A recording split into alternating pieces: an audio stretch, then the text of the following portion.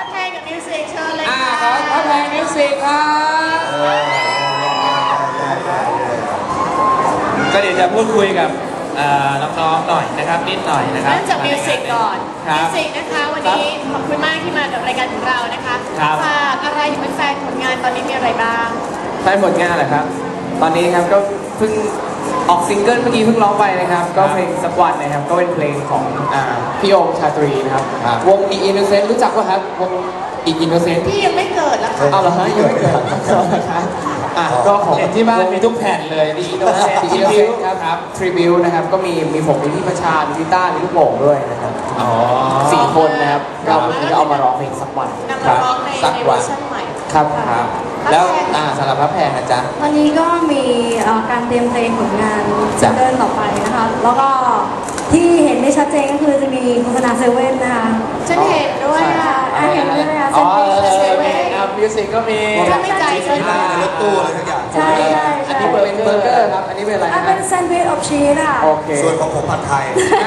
ไม่มีครับ ไม่มีฮะตุ้ยมีด้วยแต่ผัดไทยเซเว่นขายผัดไทยด้วยเหรอวะได้ดิแถวบ้านหน้าเซเว่นช่องมีหนอหรือว่าขวดเองเนาะค่ะโฆษณาเซเว่นใช่แล้วก็ก็ไม่มีอะไรละค่ะ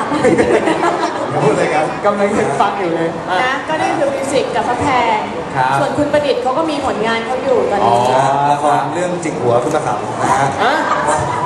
เป็นละครชื่อแปลกมากนะครับ จิกหัวขึ้นมาขับนะครับ แต่ว่าหล่ออย่างนี้แล้วเอาไม่ภาษาแล้วเอาภาษาแล้ววันนี้เอาภาษาวันนี้ต้องติดตามว่าคุณประดิษฐ์เนี่ยจริงๆแล้วเป็นคนจังหวัดอะไรกันแน่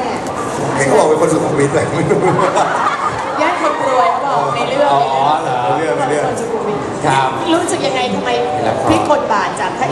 แล้วก็มาเล่นละเฮ้ยอันสอนี้งอันเรื่องนี้อะไรนี่ส่วนตัวหรือว่าไงก็ชอบอ่าเขานี่ อ่าอ่าอ่าได้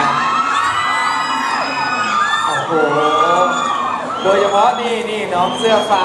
โดยเฉพาะน้องเสื้อฟ้าโอ้แฟนคลับคุณน้องเสื้อฟ้า พี่ทักใจแล้วเหรอที่พี่เรียกเขาน้องอะพี่ไม่น้องนะเอาเหรอ ไม่เวลาเอาตุ้ยไปไปเคไหนลียร์กัจะนเอมีงแฟนคลับตามอ่าพระไปแพงตมิลวอสิกดเหมือนกันนะครับ ก็จะมีผลงานละคร แล้วก็เรื่องต่อไปมียังคะครับกำลังถ่ายทำอยู่ครับจงคนอิ่มเทียนครับแล้วเร็วๆนี้ก็มีเขินบ้านนอกครับเคยบ้านนอกอีกนะยี่เกยบ้านนอกเลยหน้าตาอินเตอร์ก็ต้องเล่นเป็นนอกอะไรอย่างเงี้ยครับมันจะมีปัญหานะเปล่าเปล่าพี่